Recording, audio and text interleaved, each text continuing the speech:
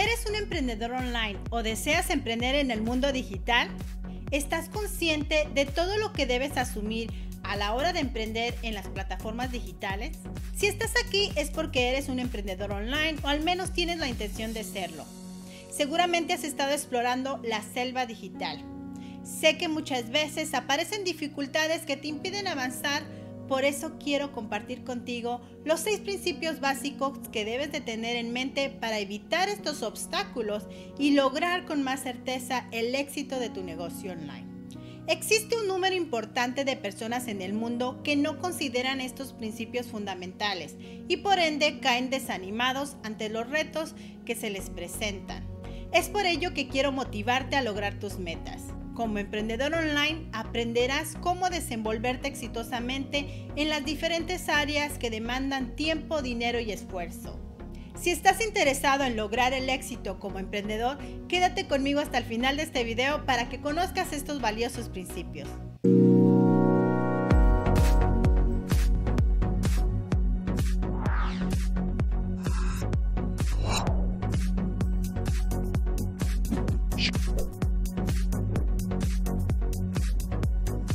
Hola, yo soy Emma Saldiena y quiero compartir contigo estos principios básicos pero fundamentales, ya sea que lleves algún tiempo intentando levantar tu negocio en línea, inclusive si no has comenzado aún. Estos principios serán muy valiosos para ti. Recuerda que con pequeños cambios puedes hacer que tu emprendimiento en línea dé un giro enorme hacia lo positivo. Comencemos. Principio número uno. No abordes a tus posibles clientes fríamente. No sé si tú lo has vivido, pero es como cuando vas en la calle y de repente te salta una persona o alguien para tratar de venderte una tarjeta o para ofrecerte que te hagan miembro de su organización. Bueno, digamos que esto es lo mismo en línea. Hay un proceso para que te conozcan y ese proceso es importante. Ciertamente quieres que te conozcan, pero debes hacerlo de una forma más sutil y armónica posible. Recuerda que muy pocas personas se conectan o compran con alguien desconocido. Mejor sigue estos sencillos pasos. Paso número 1. Ofrece algo gratuito de mucho valor para las personas. Es una buena forma de romper el hielo. Paso 2. Mantén una conversación en donde la persona se sienta valorada y sienta que puede aprender mucho contigo. Hazle saber que este es su sitio, que tú eres la persona indicada para ayudarle. Paso número 3 Haz una primera oferta pequeña, algo con lo que vea que puede confiar en ti. Esto sería como que después de estar charlando un rato, decirle que si quiere ir contigo a la barra del bar a pedir algo. Punto número 4. Lanza tu oferta. Después de ese tiempo en el que has estado compartiendo una conversación, le pides hacer un compromiso mayor con base a que ya te ha conocido mejor. En resumen, lo que te quiero decir es que no entres en frío. Lleva un proceso de darte a conocer con las personas como lo haces en tu día a día y todo te va a salir muy bien. Número 2. Elige con quién hablar. Esto es muy importante y vital. Es decir, elegir al cliente al que te vas a dirigir es muy importante que sepas cuál es tu público objetivo. En otras palabras, comparte tu mensaje con aquellas personas a quienes les va a interesar el producto o servicio que tú ofreces. Elegir a tu cliente ideal es un paso básico para dirigir todo negocio y para especializarte dentro de la jungla del emprendimiento digital. Para mí esto ha sido lo, que ha detonado el éxito en mi negocio soy consultora de marketing con varios años de experiencia y debido a esto evito dirigirme a todo tipo de cliente. Tú también debes identificar a tu cliente ideal para saber quiénes se conectan más rápido con tu contenido, cómo y cuándo es el mejor momento para venderles. Y yo quiero a que desarrolles esta habilidad en un mediano o corto plazo. Número 3. Habla de tú a tú.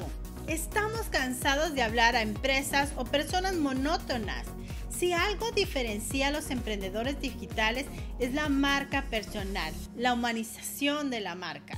Por eso habla siempre a tu audiencia de tú a tú y permite que te conozcan. Algo que funciona genial es compartir información valiosa a través del video. Transmite cercanía y le permite a tu audiencia saber cómo eres es importante que te vean natural y que se sientan cómodos. Date cuenta que cada persona tiene su proceso y dale a cada uno su tiempo. Te aseguro que de esta forma ellos son los que irán a pedirte ayuda. Recuerda que tú estás a su servicio y has venido aquí para ayudarles. 4. No te centres en vender.